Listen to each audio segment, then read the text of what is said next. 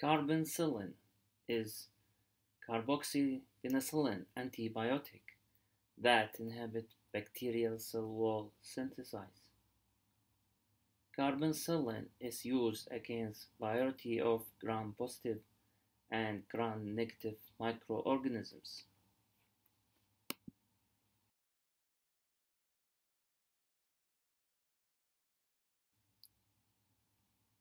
Carbenicillin is used to treat bacterial infections, urinary tract infections, Pseudomonas aeruginosa infections.